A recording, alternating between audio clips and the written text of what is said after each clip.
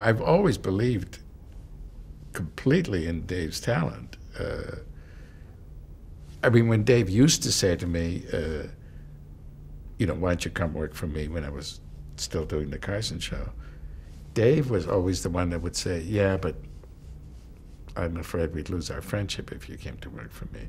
He always believed that there would be a strain on the friendship if we worked together. And he was right. It wasn't the same. Uh, so, I mean, we're still, he still thinks highly of me. I still think highly of him. We're just not as close a friendship as, as we used to have. Mm-hmm. What, what do you think makes him the amazing talent that he is? What do you see in him? That's so hard for me to describe. Uh, because people have asked me that about Craig Ferguson. Uh, you see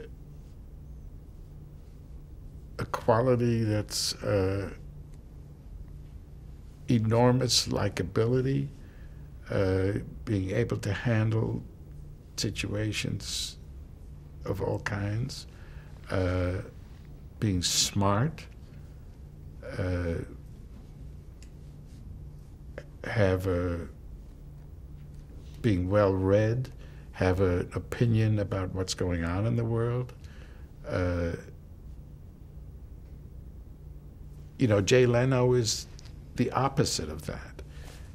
He lives in his own little world. He doesn't like time off. He doesn't like vacations. All he likes to do is work uh, and cars, and that's it. You know, he doesn't. Uh, he has no other life. Uh, that's a disadvantage.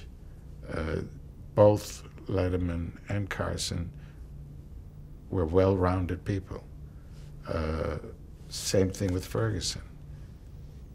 Very smart. Read every book ever published in all areas religion, politics, history, uh, that's great to have that kind of personality, that kind of uh, intelligence. It comes in very handy, you know, where they can do a serious subject and a serious interview and have a great sense of humor and be funny at a moment's notice. Uh, th- those are rare talents. There are very few people that are that that well rounded.